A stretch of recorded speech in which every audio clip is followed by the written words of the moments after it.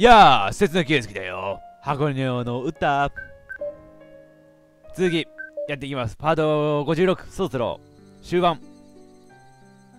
前回のあらすじ。小鳥ちゃんが何かを察し、敵の居場所を知ることができました。でもその小鳥ちゃんは夕方になるまで敵を倒したくないと。夕方になってから倒すと言って、そんでみんなでいろいろやって、夕方が来た。そんな感じ。多分今回のパートで敵を倒します。日が傾き、西日が差し込む。薄暗くなった部屋の中で、小鳥は一人、ゆっくり立ち上がった。そろそろ、かな？そろそろ迎えに行こうかなって、子供を迎えに行こうかなみたいな感じのお母さんみたいなこと言うな、お前。それでも敵を倒しに行くんやけどな、これで。タイミングを見計らったように、車の音が近づいてくる。イーナさんもそのタイミングに来たんじゃ。やな。ねえ、みんな？BGM 消えた。おいずき、歩。む、夏雪、コラミ。りょうすけは出てこんかった。最後の敵倒しに行く。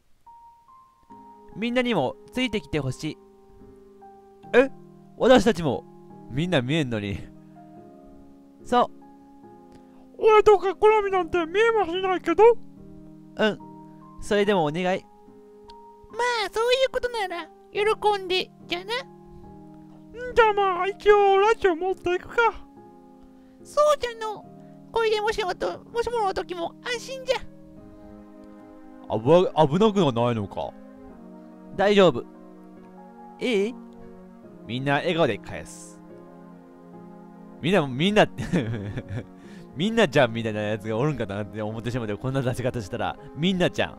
なんとかみんなちゃんもちろん新しいやつできたみたいな感じになる 新しいやつみんなちゃんっていう新しいやつできたみたいな 感じになるやんもちろん 今のみんなちゃんの声ね。夕方の街をみんなで歩く。敵を倒しに一挙ような雰囲気じゃないよな、これ完全に。小鳥は行き先を教えてくれない。何も聞かずについてきて。そう言って先頭を歩き続けている。え？神社何気に、何気にここ怪しいと思ってた須田圭介です。だってさ、一回あの、なんだ、クリスさんとの出会いの時に来たし、なんか、伏線みたいな感じのはあったよ、名前から。なのに、そんなに深いことはなかった。あ、クリスさんの時もちょっとあったけどさ、それだけじゃないような気がした気はするけどさ、そういうことだったの。最後の敵ここおるん。黙ったままのここに、小鳥に続いて、到着したのは神社だった。いつにか和骨です。黒友さんはコツです。え？ここは散々調べたし、前に倒したはずだが。そうやな、倒したよ。一回な。うん、そう。敵の居場所は別にここっていうわけじゃない。だったら、なんでこんな場所に？人がね、誰も来ないところが良かった。私たちだけしかいない場所が良かったから。だから、ここにした。どうして？すぐにわかるよ。すぐにわかるよ。行けばわかるさ。アントニオ猪木みたいなこと言う。そう言うと小鳥は僕たちに向き合ってゆっくり目をつむった。それじゃあ終わらせるね。え何？なんで白いこんな白い髪になった？小さな声で。小鳥は続けるずっと続いたこの戦いを字の出方が初めてのパターン今そしてドアップで涙小鳥ちゃん閉じていた瞳をゆっくりと開く小鳥。その瞳は少し潤んでいた。そのまま小鳥はかすかに笑みを浮かべる。ねえ、みんな。この島でみんなと過ごした1ヶ月。私は本当に本当に楽しかった。幸せだった。なんかこんないきなりこういう言葉を告げられたらさ、この後悲劇を待とうようにしか聞こえないけど、フラグじゃないだろうな。そういう悲劇なフラグを踏んだとかそういう話じゃないんだろうな。大丈夫か、小鳥ちゃん？ドキドキして、ワクワクして、ハラハラして、そんな毎日だった。みんなが黙って小鳥の話を聞いている。そんな僕たちを見つめ小鳥は話を続ける。この島で得たたくさんの気持ちとともに私はここを去るね。今まで本当に本当にありがとう。私はみんなと出会えて本当に本当に良かった。なんかのフラグ立ったんだろうか本当に。本当に良かったのか？何かがおかしい。そんな気がする。涼介もなんか感じ取っとる。何かを感じ取っとるぞ涼介。何が？そう。それはな何よ？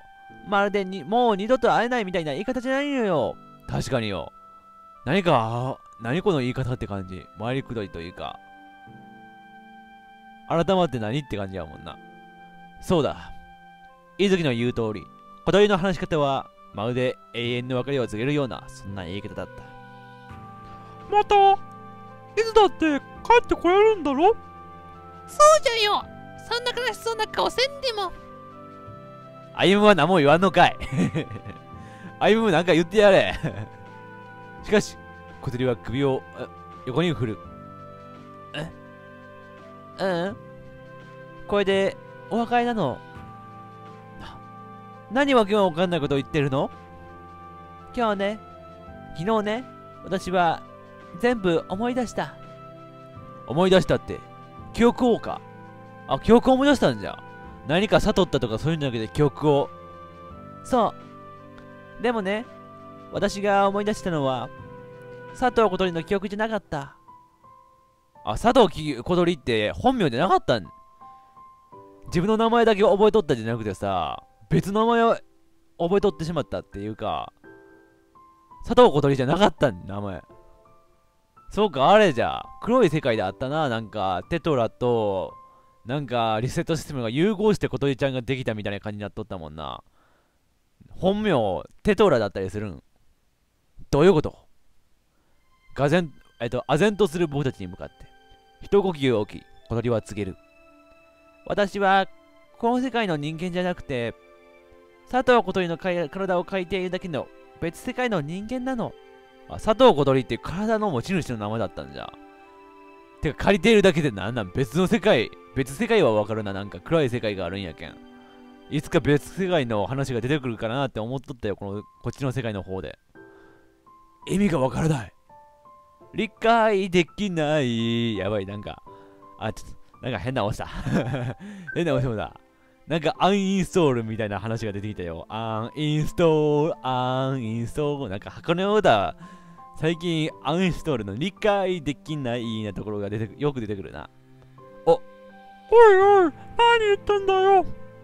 果たすべき目目的を持ってこの私はこの世界に来た。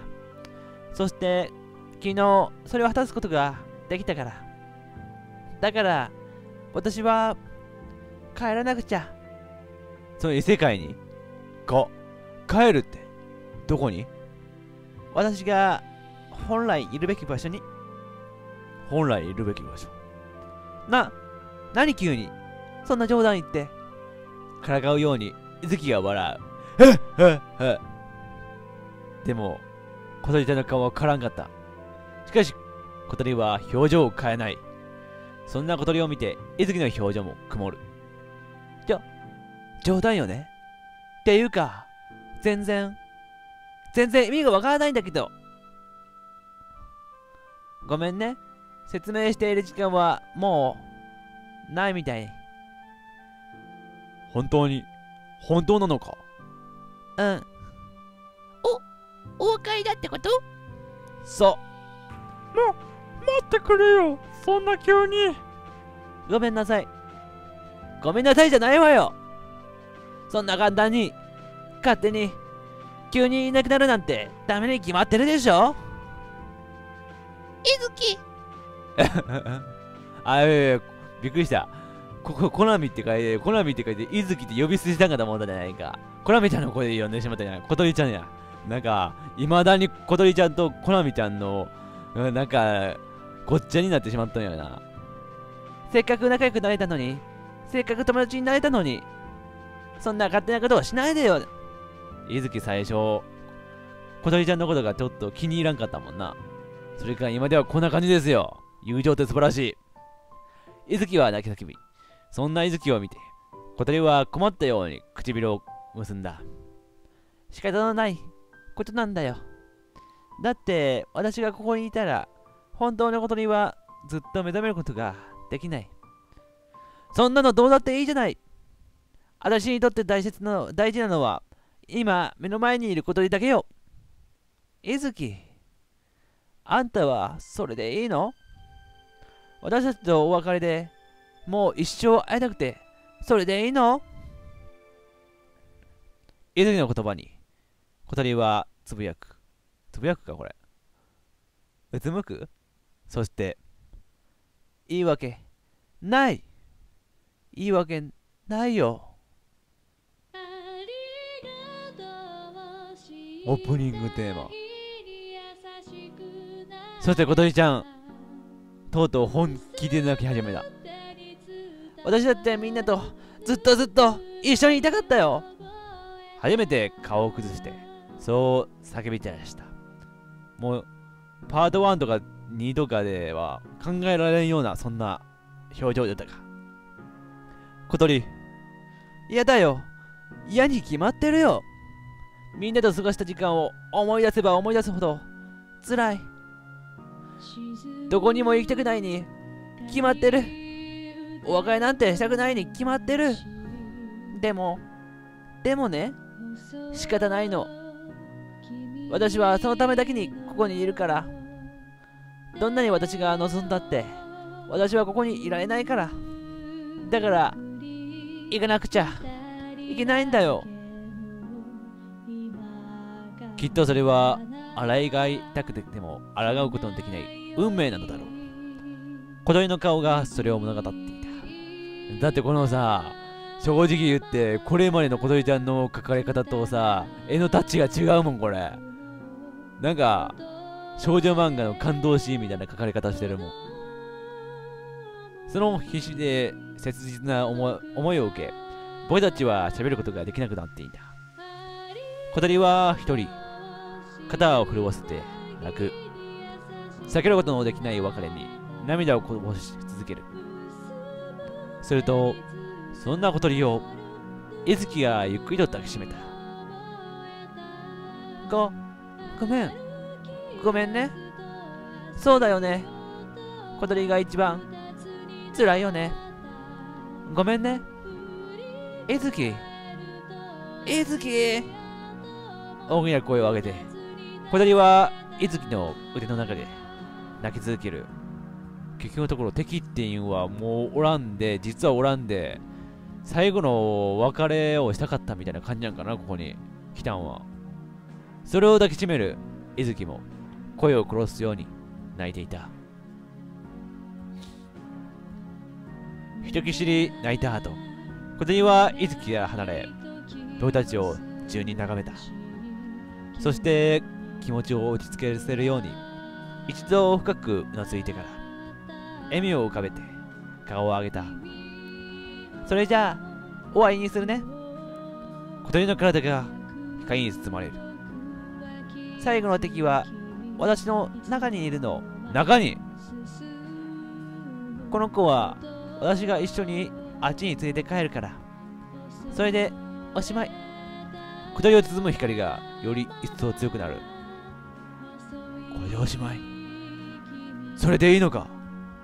僕はただ黙っていただけで何もできていない。何も言えていない。行け！涼介行け！好きって言え！好きって好きって言いなよ。目の前で起こっている出来事にただ唖然と立ち尽くせ立ち続くえ？立て立ち尽くしていただけだ。よし。これでいいわけない。そう思った瞬間自動的に手が伸びた。自動的にってな。自動的にっつうかさ思わず手が伸びたとかさ自動的って機械的な言い方した。小鳥を包む光は大きくなって僕の体も一緒に包んでいく。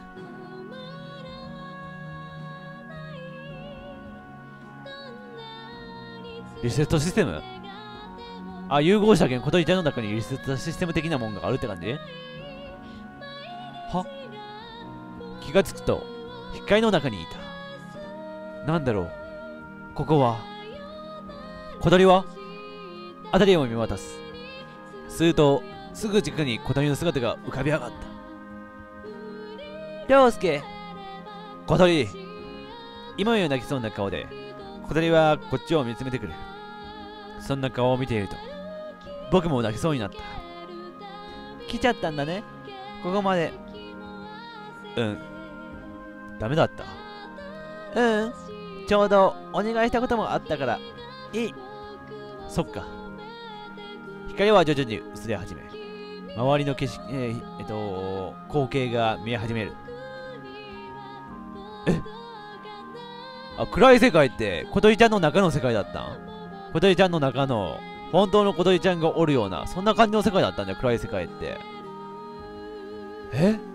あ、そうか、リセットシステムが小鳥ちゃんの中におるってことはそういうことになるんか。暗い世界ってそういう概念だったんえー、すごいな。理解はできんけど、すごいな。理解できないことばかりだよ。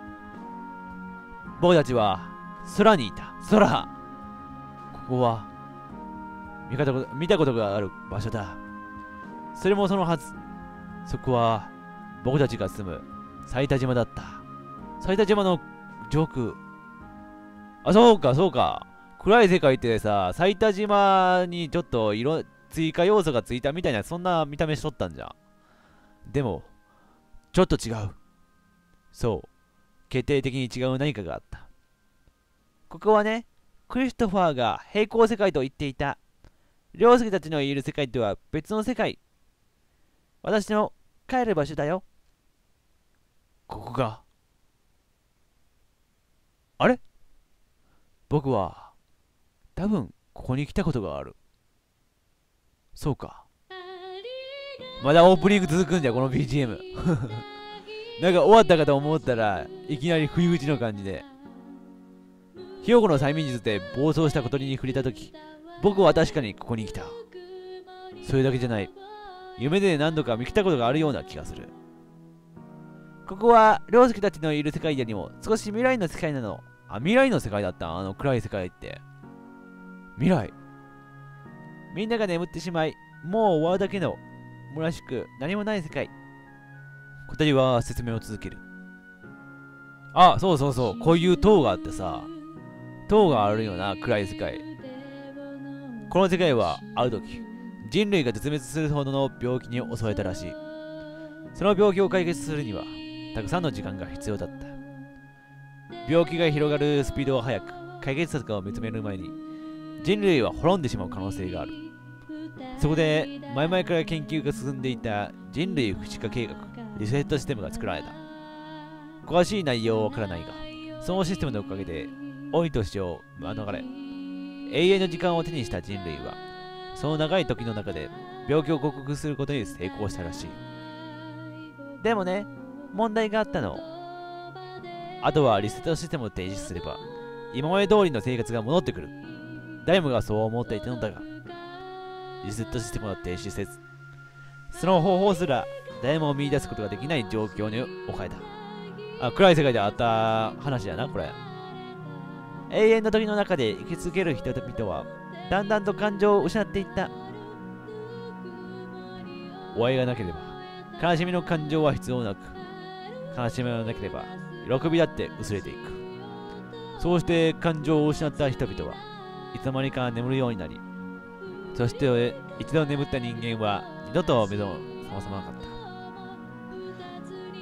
た。だけどそれでも諦めずに戦い続けた人はいるのその子は止まってしまった後の世界でリセットシステムを停止するために生み出された。生み出されたその子は感情を持っていなくて。でも大切な仲間と一緒に過ごすことで一つずつ感情を覚えていった。そしてそのみんなとは反対に人間らしさを得ていった。そんな彼女だったからこそきっとリセットシステムに到達することができた。完全にテトライコール小鳥の方程式ができとう感じになってしまっとんで。小鳥一体君は？私はリセットシステム。この世界そのものなんだよ。やっぱりリセットシステムなんだよ小鳥ちゃん。ん？リセットシステムってことはテトラと融合して感情がついたリセットシステムみたいなそんな感じなんじゃ。テトラがくっついた件リセットシステムに感情ができて今リセットシステムがこんな感じになっとうって感じなんじゃ。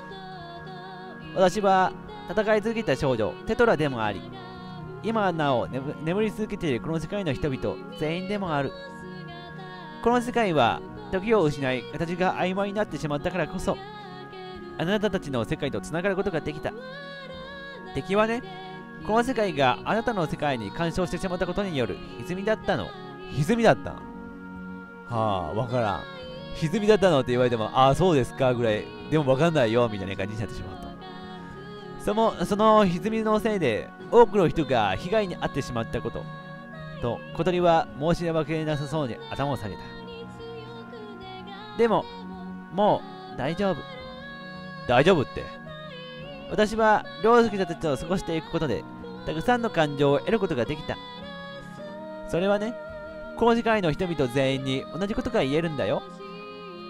あ小鳥ちゃんが感情を覚えたわけでもう全員が感情を覚えたからハッピーエンドみたいな。ざと言えばそういうことですか。これからリステシステムは停止する。そして感情を取り戻したみんなはきっと目を覚ます。そうしたらこの世界にはまた時が戻りしっかりとした形が蘇る。曖昧じゃなくなった世界があなたの世界に干渉することはもうない。これで歪みはなくなり敵はいなくなるの。だからもう大丈夫。でもそれってだからこそ小鳥ちゃんがもうこの世界からおさらばってことになるん。そんなの言い訳がない。小鳥はどうなっちゃうの？涼介そこ気になるよな。え？システムを停止したら今僕の目の前にいる小鳥はどうなっちゃうの？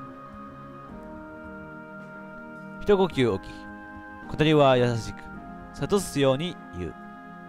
心配してくれなくても大丈夫だよ。私はこの世界そのものだった。だからこそ私はこの世界の人々の中に残り続ける。もしかしたら誰かの記憶の中にこの1ヶ月の記憶が全部残っているかもしれない。だからそんな悲しい顔をしないで涼介。小鳥ちゃんやって泣いとるやないか。小鳥ちゃんが泣いとったら俺だって苦しいんだ。できることならこのまま物の世界に連れて帰りたかった。腕を引いて僕たちの世界に連れ戻したかった。それはきっとダメなことだとダメなことだというのは分かってる。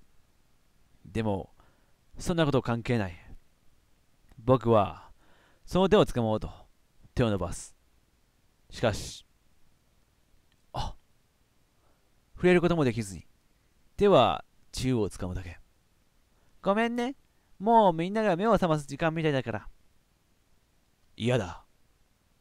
嫌だよ。これで終わり。それが分かって。ずっと溜まっていたものが勢いよく溢れ出した。あ涼介。久々に出てきたなお前。球技大会の助走した時以来じゃないか。嫌だ。まだ一緒にいたい。止まらない。止める方法もわからない。涙はずっと流れ続ける。ずっと一緒にいたいよ。涼介。もう出てくるのはああだけ。タカさん言いたいことはあったはずなのに。頭の中がぐるぐるして何も言葉が出てこない。嫌だ。そんな言葉しか出てこない。涼介と出会っていたから私は嬉しいって思えた。涼介がいたから私は寂しいや悲しいを覚えることができた。全部涼介と出会ってから始まった。そして最後に私は涼介を好きになった。小鳥この別れ際に両思いになったっていうそういうパターンやな。全部全部持っていくよ。嬉しい楽しいだけじゃない。辛いも悲しいも全部全部持っていく。涼介はみんなみんなのおかげで得た全部の気持ちを持っていく。ありがとう。ありがとう涼介。私は涼介のことが大好きだった。本当に本当に大好きだったよ。再び光が僕たちを覆い辺りの景色は白く染まっていく。小鳥ちゃんが消える。消えた。いよいよ終わりがやってきた。終わりの始まり。小鳥！もうその名を呼ぶことしかできない。小鳥！小鳥！叫び続ける僕に小鳥はそっと右手を差し出した。最後のお願い。どうしたか鳥ちゃん。キスしてほしいとかそういう話か。お願い。キスか。わかった。キスの準備だ。うん。涼介が。全部終わらせて。右手に置かれたのは。一本のナイフ。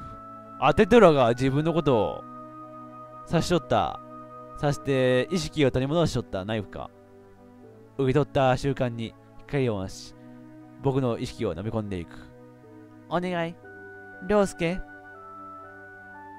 うん。わかった。約束するよ。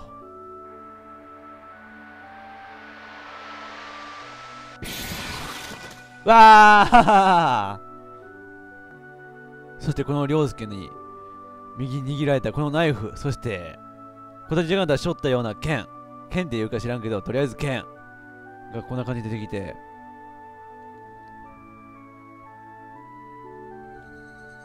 光が闇。僕は地面に立っている。すぐ近くで意識のない小鳥が横たわっていた。涼介？ここで涼介はとどめを刺しに行くんじゃ。おい何がどうなっているんだ？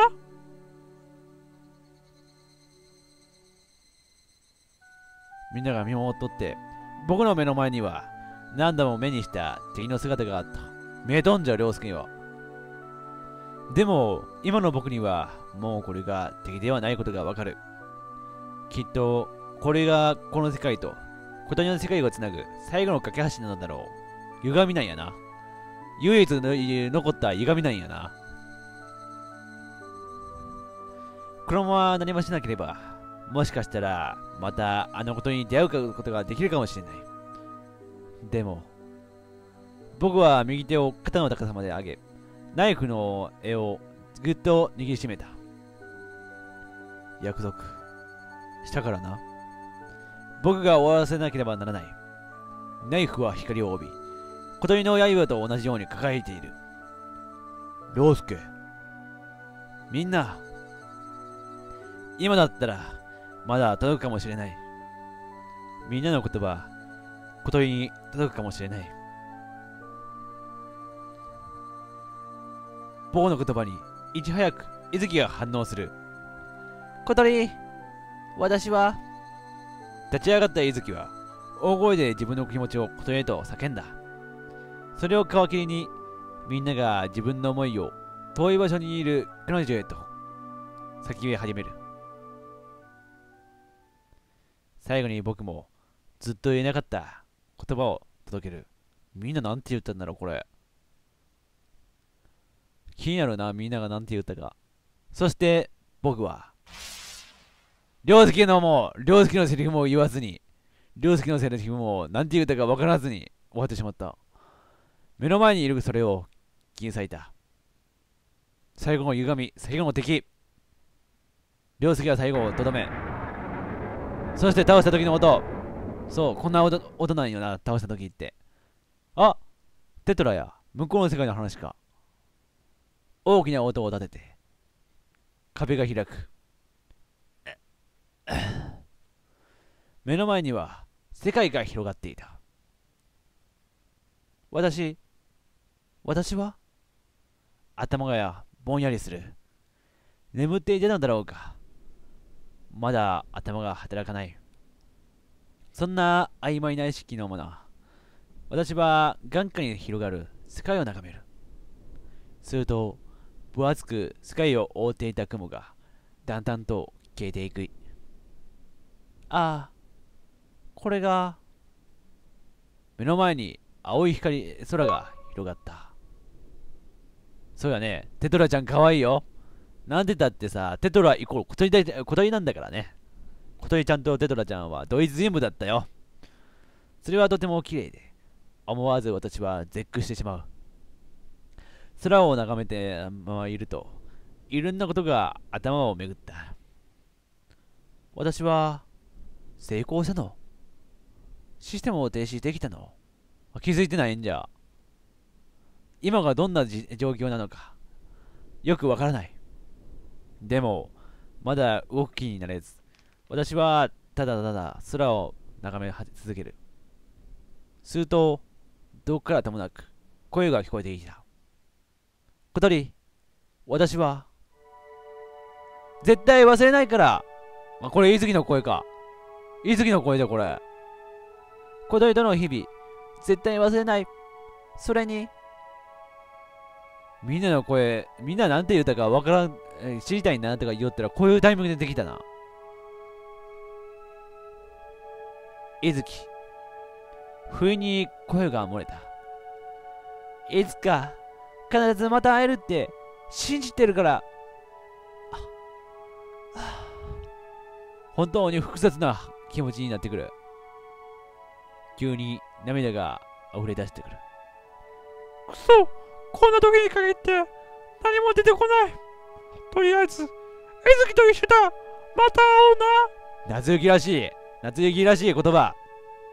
夏雪頭の中にたくさんの光景が浮かんでくる私が佐藤小鳥だった。長いような短いような。あの夏の日々の光景が。佐藤さんありがとう。佐藤さんが小島に来てから。俺たちもたくさんのかけないものを手に入れることができた。じゃな。あ、じゃなじゃねえ。ここコナミちゃん、いきなり出てくるんじゃないよ。ちょっとアニメがじゃな、じゃあなって言おうとしてさ、じゃなになったかなと思ったんだけど。このコナミちゃん、いきなり出てきたけどさ、歩むの声でじゃなって言ってしまったんだよ。じゃあな私からもありがとうなのじゃ。ふう、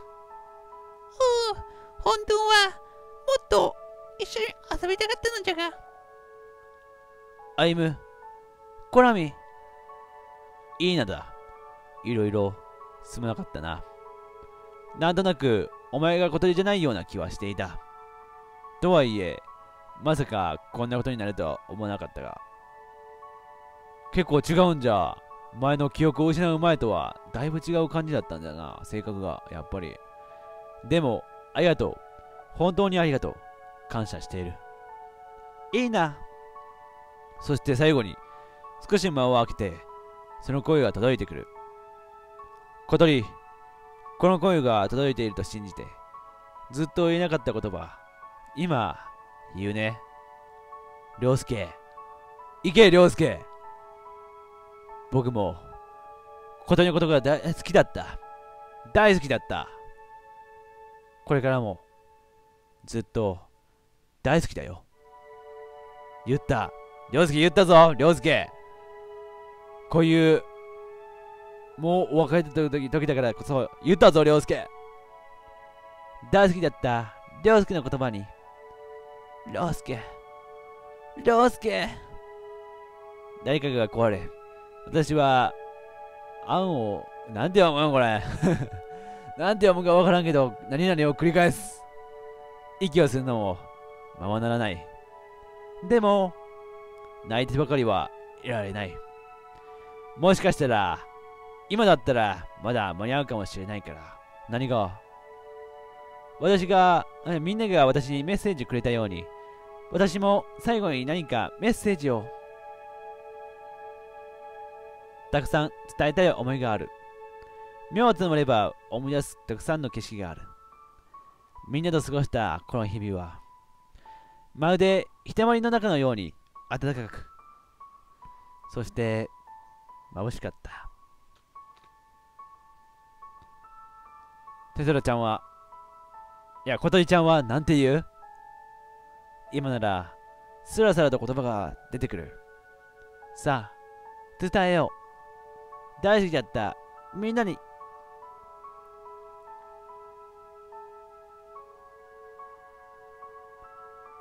全部が終わり僕たちは力なく砂間に崩れた。壮大な別れだった。みんな投げべそをかけながら置かれた現状に嘆き続ける。するとその時おっと？夏雪の持っていたラジオが急に音を拾い始めた。どうした？どういうこと？敵はもうおらんようになったのに？な何？この声。ことね。ノイズは徐々にクリアになっていく。それは歌だった。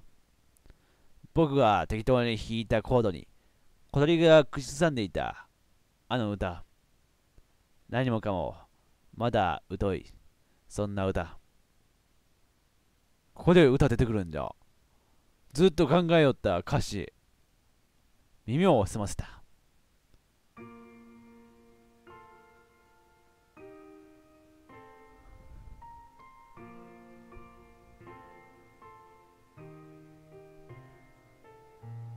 母さん。エンディング？まさかのここのエンディング？これで小鳥ちゃんが歌ってますよパターンのやつ。小鳥ちゃんめっちゃ歌うまいや めっちゃ歌歌うまいやお前。小鳥ちゃんめっちゃ歌うまいやお前さあエンディングか。本当に最終回なんこれ。歩夢と夏雪。夏雪が映画夏雪こう見たらめちゃくちゃイケメンで。可愛いキャラかと思ったらめちゃくちゃイケメンや今。夏雪。それはショートにしてよかったよ。次に出る思い出よかったと思う。でこれがちょっと前のデートの時だったかな。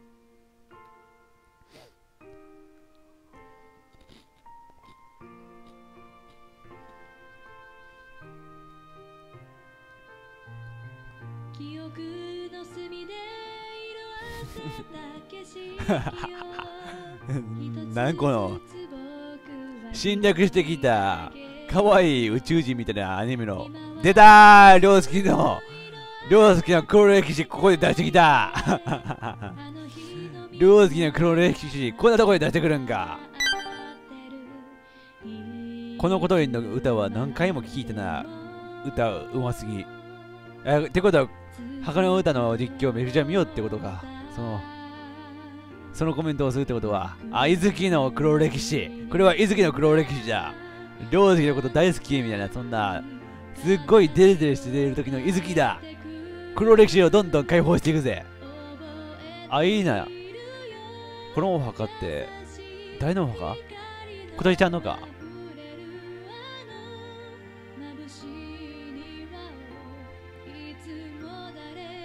あ。あ、久しぶりに夏雪のこの髪型の時みたいな。そうそう。夏雪がこのツインテールだったのをさ切ったんよな。パート30何本ぐらいかなぐらいの時やな。これはいつの時だったっけ？これいつの時だったっけ？これに関してはこんなこんなあったっけの状態やけどこの手繋いだ習慣。あれか？テトラとリセットシステムの話かこれは。手繋いだっつうか首手首グッと掴んどうけど。でテトラが初めてこの異世界の暗い世界の方に来たっていうところやな。目覚めたってところ使命を果たすために目覚めたってところやな。あこれがあのテトラがリセットシステムと手繋いだ時か。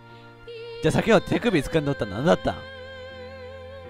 え、いつ、いつあった？そんな手首を掴んだ時なんか。そしてこういう空があって。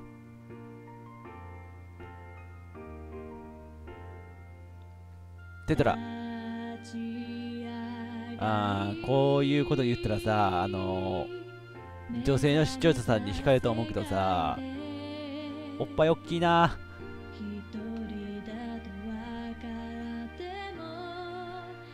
で、これが葵。葵どうなったんだろう。目覚めて元気になったって感じなんだろうな、やっぱ。みんなが目覚めてって状態なんだろう。アバンジュール石川 in 沖縄でめちゃくちゃ長い人の名前がテストプレイにおるんだ。アバンジュール石川 in 沖縄。in 沖縄の意味があるのがちょっと突っ込んだ。気になったけどちょっと突っ込んだよ。そして夏雪のゴスローリー姿。これもちょっと懐かしいよな。これは小鳥ちゃんがなんだろう。力ががなんかパワーアップした時のやつじゃ多分。あのー、剣が水色だったんが赤になった時じゃないかな。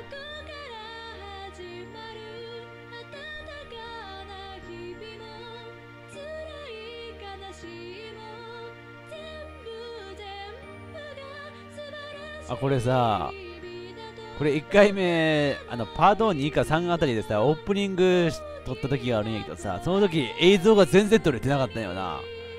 もしかして今もさこのエンディング全然撮れてないってことはあるんかなもしかして。だとしたらショックやな。今頃ちょっと YouTube でアップしとる動画を見とる人はさ この映像全然見れてないわけやけんな。感動的な映像。もう正直アルバムアルバムよもう。そのアルバムチックなエンディングを見えてないわけやけんな。そして琴恵ちゃんとの別れが終わった。あまだ続くんじゃ。エピローグや。エピローグ。21日。琴恵ちゃんをこの世から消去したって言うたら言い方悪いけどずっと眠っていた琴恵が目を覚ました。というのがおとといの話。昨日一日検査をして特に体に異常はなかったようで。あこれがさもともとの体の持ち主の琴恵ちゃんやな。今日は特別に面会を許されたのでみんなの代表として僕は本島にある病院に向かっていた。本島か。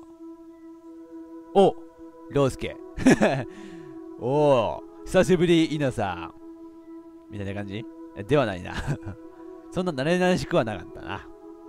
ああどうも。小鳥は今医者の研修を受けているからなちょっと待ってくれあ稲さんこのまま検診受けている部屋に入ったらさ、小鳥ちゃんの裸姿が見えませんか？あ、見ない方がいいですか？わかりました。入りません。ロビーの椅子に座るように言われ、里えと諭されるまま、僕は腰を下ろした。諭されるままではないな、今。促されるままか？小鳥にこの1ヶ月の間の記憶がないことは、もう電話口で聞いている。ああの、みんなが好きだった小鳥ちゃんの時の記憶やな。それはそうだ。あの小鳥は、今この病院にいる小鳥は、とは別人なのだから。本当は会っていいのかどうかもわからない。今の小鳥ちゃんは涼介、涼介のこと知らんけんな。みんなのことも。僕たちの知っている小鳥のことを考えると、会わない方がいいような気もしてしまう。そうだ。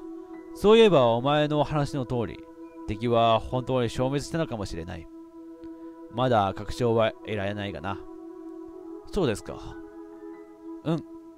もし本当にそうだったら、私の長い戦いもようやく終わるよ。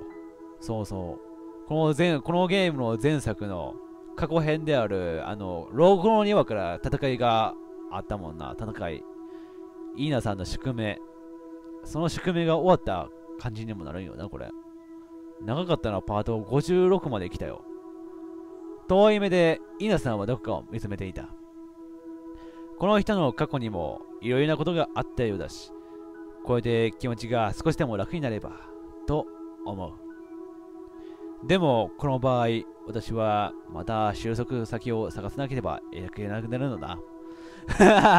いいなさんこう、こういう、この現実的な話をやめろ最終回だぞこのパート多分最終回だからな。現実的な話はやめろ 就職先、そんなんコンビニでもいいやん。コンビニの店員でもいいやん。うん、いける。イーナさんだったらそのおっぱいさえうまくちょっと見せびらかしとったらさ、男釣れる。うん、いける。イーナさんならいくらでも見つかるでしょ。ま、困った時は大野に言えば何か紹介してもらえるだろう。大野さん結構バイトとかに詳しいんか。副業とかたくさんやってそうやもんな、あの人。私のプライドが許せば。だがな、無理です。それは無理です。それは無理って言ってるようなもんです。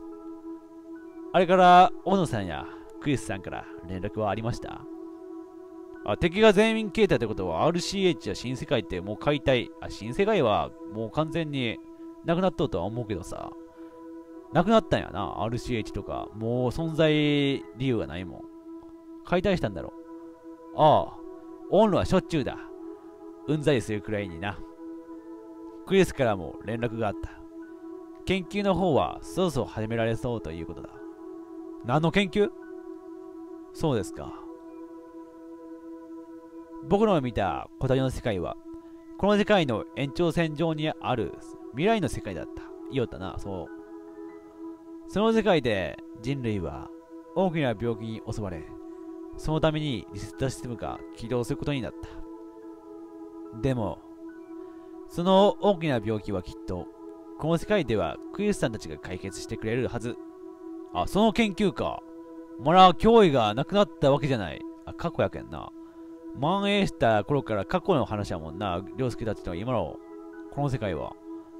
これから出てきてもおかしくないんだな。そうか。僕はそう信じている。そう。この世界とあの世界は違うのだから。うん。お医者さんが病室から出ていたのを見計らって僕は病室へと足を向ける。私はちょっと電話してくる。一人で行け。いいなさその笑顔。でもありがとうございます。ええ。引き止める間もなくイーナさんは遠くの方へと歩いて行ってしまった、はあさてと。タイムカプセルは開けてしまった。開けたんかい。うん数年後とか数十年後に見るもんやぞタイムカプセルって。小鳥ちゃんの気持ちが知りたくてか。小鳥が最後に残したメッセージがどうしても言いたかったからだ。伊月は絶対また会えるしその時まで待ちなさいよとわめいていたが歩の説得でしぶしぶ了承した。2通の手紙のうち1通は僕たちがやっててもう1通は佐藤小鳥さんへと書いてあった。体持ち主の方にか。そういう意味で2通だったんだよ。てか小鳥ちゃんじゃなく体の持ち主じゃなくて俺じゃなかった。俺じゃなくて体の持ち主だった。ちょっとショックなんですけど小鳥ちゃん。僕宛ての手紙にはこう書かれていた。涼介この手紙を読んだ後涼介が出会うことにはきっと私ではありません。いろんなことを隠してたままでごめんね。この一月佐藤小鳥として過ごしてきて私は彼女が今までどんな風に生きてきたか知ることができました。小鳥はかわいそうな子です。敵により両親を失いそれからは友達を作ることができずに戦いばかりの日々。小鳥が敵を倒す手段である。刃を使うことができたのはその精神が無理に近かったからだと私は思っています。もう全然理解できないことをバラッと言うね。小鳥ちゃんは。イーナさんやキヨコはもっと普通の子だったと言っていたがそういうお面をかぶっていただけで本当の中身は違っていたかもしれない。戦うために自分を捨て去ったって感じやな。今のことには涼介たちの友達であった私ではありません。でももしよかったらまた友達になってあげてくれませんか？あなたたちと過ごしていればきっとことには私のようにいろんなものを得ることができるはずです。私が大好きだったみんなと一緒に過ごしていれば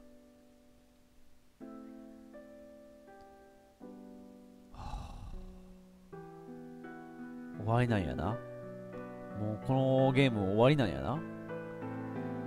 ネームプレートには佐藤おとりと書かれている。病室の扉は閉まっていて、僕はドアの前で一人立ち続け立ち続けている。やけに緊張していた。どんな顔で、どんなテンションで話しかければいいのか、わからない。いろいろ考えていると、結局、立ち尽くすだけになってしまう。情けないな。こういう時、夏雪だったら何食わぬ顔で入っていけるのだろう。空気ブレーカーやけんな、あいつは。そこはいいところでもあり、たまに悪い時もあるからな。ドアに手をかける。声を開かないことには始まらない。その向こうにどんなことじちゃんが待っているのか。緊張で手が震える。と、その時だった。ふとかすかに耳に届く室内からの声。あそれは、あの歌だった。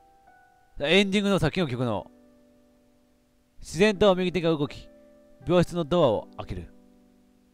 細木ちゃん。え？ベッドに座っていた小鳥が、こっちに振り返った。僕を認めるその顔は、知らない人へと向ける表情。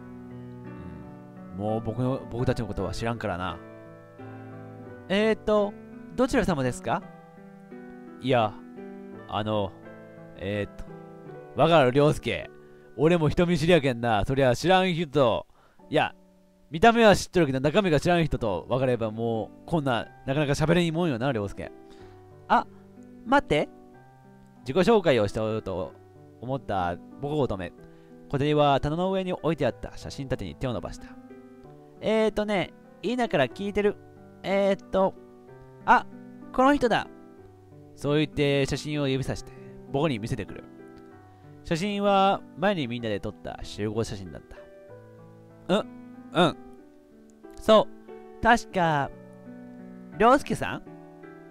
ああ、うん。正解。くそ、さん付けってところがさ、ちょっと、ああ、やっぱり違うんやなって思ってしまうよな。前のこととは違うんやなって。やりとりを繰り返すたびに、別人だと認識させられる。りょうすけさんは、ああ、さん付けはいいよ。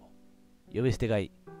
そ、そうそれより、さっきの歌、どうしたの？あ、もしかして、りょうすけは知ってる？さっきの歌。う、うん。一応ね。僕が作ったんだよ。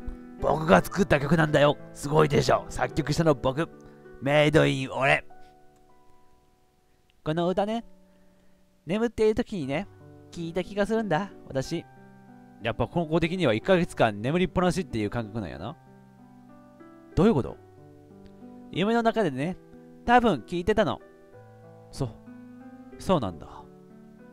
顔が一緒だから、こういうことがあると、もしかしたら思い出すのでは、なんて思ってしまう。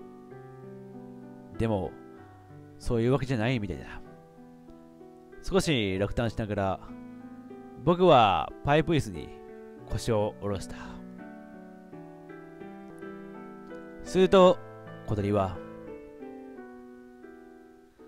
じっと僕の顔を見つめてくる。なあ、何？りょうすけの目は、綺麗ね。ありがとう。え？透き通ってて、なんだか懐かしい気持ち？それは初めて小鳥と出会った時、彼女が僕に言った言葉、そのものだった。これは小鳥ちゃん、どっちの小鳥ちゃんだろうと関係なく持っとった感性だったんじゃ。そうか。え、え、え？と、どうしたの？なんで泣いているの？ご、ごめん。ここにいる小鳥は、僕たちの知っている小鳥はない。だけど、また、ここから始めてもいいかもしれない。小鳥は、きっと、許してくれるだろう。だから、僕は涙を拭って、彼女に笑顔を向ける。ねえ、小鳥。うん？うん。もしよかったら、僕と、うん？僕たちと友達にならない？これは、パード最初の方に言った小鳥ちゃんとの、あの、俺らと仲良くなった馴染みのある小鳥ちゃんと、初めて仲良くなった時の感じになるんやな。小鳥はしばらく黙り込んでいたが、僕のよく知るあの笑顔で答えてくれた。こちらこそ、よろしくお願いします。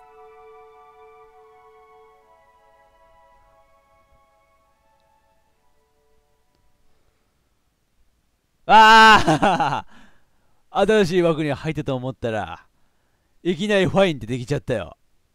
終わっちゃった。ああそうか、ここで終わりなんか。わあ。新しい枠開いたと思ったら1分何本ぐらいで終わってしまったよ。そうか。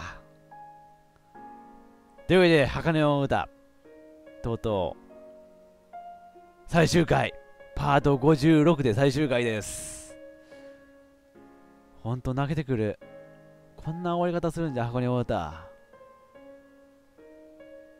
あのー、この1ヶ月、一緒にいた小鳥ちゃんとはおさらば、そして新しい小鳥ちゃんとの友達になった、そういう、そうか、そういう感じか。俺生放送やって、敵生放送でもやったん、結構長いことやったんよね。えっ、ー、と、パート56やけどさ、これ、始めたんが4月頃だったと思うよね、去年の。だからもう1年半ぐらい箱根の歌をと、こまめにやり続けて、1パート25分超えで、パート56積み上げて、ようやく最終回。それだけにちょっと、箱根の歌が終わるん、ちょっと悲しいな。そんな感じがするけど、終わりないよな。箱根の歌、終わりです。テトラストライク。というわけで皆さん、タクティカルシンパシーさんが作ったこの箱根の歌、実況終わりです。2週目とかありません。続編も多分ないです。新しい小鳥ちゃんとの出会いで涼介は新しく進化します。成長します。そんな涼介をみんなで見守っていきましょうっていう感じかな。終わりです。というわけで、皆さん、ご視聴ありがとうございました。週上げ。